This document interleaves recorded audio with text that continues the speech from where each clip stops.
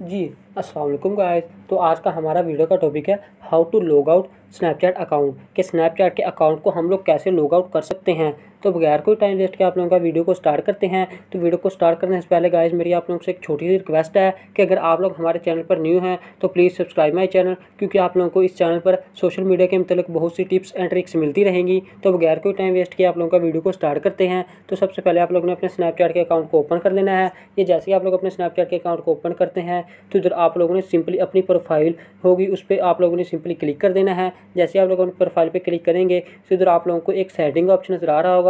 आप लोगों ने सिंपली सेटिंग वाले ऑप्शन पर क्लिक कर देना है। जैसे आप लोग सेटिंग वाले ऑप्शन पर क्लिक करेंगे तो इधर आप लोगों को जो भी इन्फॉर्मेशन होगी, आप लोगों को वो इधर सारी इन्फॉर्मेशन मिल जाएगी। आप लोगों ने सिंपली स्क्रोल डाउन करते हुए नीचे की तरफ़ चले जाना है। जैसे आप लोग स्क्रोल डाउन करते हुए नीचे की तरफ़ जाएँगे तो इधर आप लोगों को एक लॉगआउट का ऑप्शन नज़र आ जाएगा। आप लोगों ने सिंपली इस लॉग आउट लॉग आउट वाले ऑप्शन पे क्लिक कर देना है। जैसे आप लोग लॉगआउट वाले ऑप्शन पे क्लिक करेंगे तो इधर आप लोगों को पूछा जाएगा कि आप लोग अपनी लॉगिन की इन्फॉर्मेशन सेव करना चाहते हैं तो आप लोगों ने इसे यस कर देना है, क्योंकि आप लोग जब भी, यानी कि अपने इस अकाउंट को, यानी कि दोबारा से लॉगिन या फिर दोबारा से यूज़ करना चाहोगे तो आपकी इन्फॉर्मेशन सेव होगी। ना आपको आपका पासवर्ड भूलेगा और ना ही आपको आपको यूज़र नेम तो आपको कोई प्रॉब्लम नहीं होगी। आप लोग इजीली अपने, यानी कि इस अकाउंट को लॉगिन कर सकोगे। आप लोगों ने सिंपली इसे यस कर देना है। जैसे आप लोग इसे यस करेंगे तो इधर आप लोगों को लॉग आउट वाले ऑप्शन पर क्लिक कर देना है। जैसे आप लोग लॉग आउट वाले ऑप्शन पे क्लिक करेंगे तो ये आप लोगों का अकाउंट लॉग आउट होना शुरू हो जाएगा। ये आप लोग ये देख सकते हैं, हमारा ये अकाउंट लॉग आउट हो गया।